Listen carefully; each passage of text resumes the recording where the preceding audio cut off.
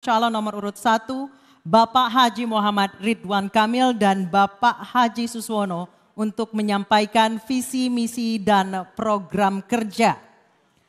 Kedua pasangan calon yang lain boleh mungkin duduk di tempatnya masing-masing nanti akan kami panggilkan. Pak Ridwan Kamil dan Bapak Suswono waktu Anda 4 menit silakan. Bismillahirrahmanirrahim. Assalamualaikum warahmatullahi wabarakatuh. Shalom, salam sejahtera, Om Swastiastu, Namo Buddhaya, salam kebajikan. Daun salam, daun talas, ada kentang, ada nanas. Para warga yang jawab salam dengan keras, saya doakan hutangnya lunas. Amin. Bapak Ibu semua, warga Jakarta yang kami cintai, pasangan kami pasangan nomor satu, Ridho, singkatan dari Ridwan Suswono. Kami memang dipisahkan oleh layar kepada warga Jakarta yang sedang menonton di rumah, teriring salam dan doa kepada Anda semuanya. Jakarta itu di masa depan kita ibaratkan sebagai lukisan, di mana kami calon pemimpin dan Anda warga di Jakarta bisa turut serta untuk menggambar, melukis, dan mewarnainya. Kami disatukan oleh satu cita-cita, membawa Jakarta baru pasca tidak lagi ibu kota dan Jakarta maju. Nama saya Muhammad Ridwan Kamil, background pendidikan saya arsitek, tujuh tahun saya diaspora di luar negeri, mendesain dan menata kota dunia, kemudian dipanggil pulang oleh ibunda, sempat menjadi penasehat gubernur tujuh tahun, Pak Sutioso dan Pak Foke, kemudian menjadi wali kota Bandung, gubernur Jawa Barat, kurator IKN dan sekarang sebagai calon gubernur. Di samping saya, orang tua yang kami cintai, namanya Pak Insinyur Suswono, seorang pendidik, seorang pengayom, dan seorang pintar dan cerdas oleh Pak SBY dijadikan Menteri Pertanian. Kami dibekali oleh orang tua kami, khususnya ibunda kami, lima prinsip kepemimpinan.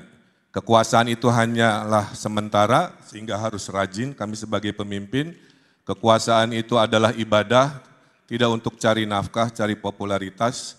Kekuasaan itu harus ada manfaat, anfa'uhum linas. Kekuasaan itu harus adil kepada semua golongan, dan kekuasaan itu harus mendahulukan kaum du'afa. Ridhollahi fi ridho waliden. Itulah kenapa, karena ridho orang tua sudah turun, pasangan kami namanya ridho. Malam ini kita akan berdebat tentang enam urusan, tentang sumber daya manusia yang harus siap menghadapi persaingan global menuju Indonesia Emas 2045. Tentang generasi Z, saya punya anak Gen Z juga.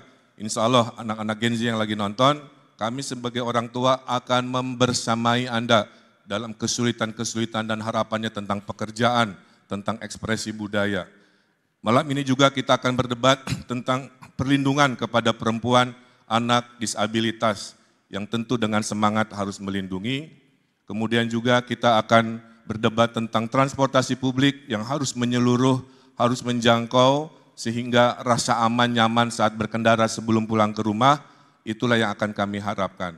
Kita juga ada perlindungan kelestarian budaya. Jakarta memang simpul dari segala budaya, tapi budaya Betawi sebagai kearifan lokal tentu akan kita dahulukan dengan gerakan membangun budaya Betawi. Kemudian ada tata kelola pemerintahan, yang sifatnya harus responsif, yang sifatnya harus adaptif, bukan soal pelayanan semata secara teknis, tapi kami ingin membangun rasa percaya dari rakyat Jakarta kepada pemerintahan barunya. Bapak Ibu yang saya hormati, itulah kurang lebih dari visi misi kami. Akan ditutup oleh pantun dari orang tua kami, Bapak Suswono. Silahkan, masih ada 10 detik Pak. Jayakarta membuka jalan sebelum Batavia ada Jakarta, Jayakarta. Dengan bismillah. Waktu habis Aduh. Pak Suswono, waktu habis. Mohon maaf Pak Suswono, waktu habis. Maaf. Terima kasih. Kita berikan aplaus terlebih dahulu untuk pasangan calon nomor urut satu. Mohon maaf lahir dan batin, nggak masalah. Terima kasih, Terima kasih. Bapak.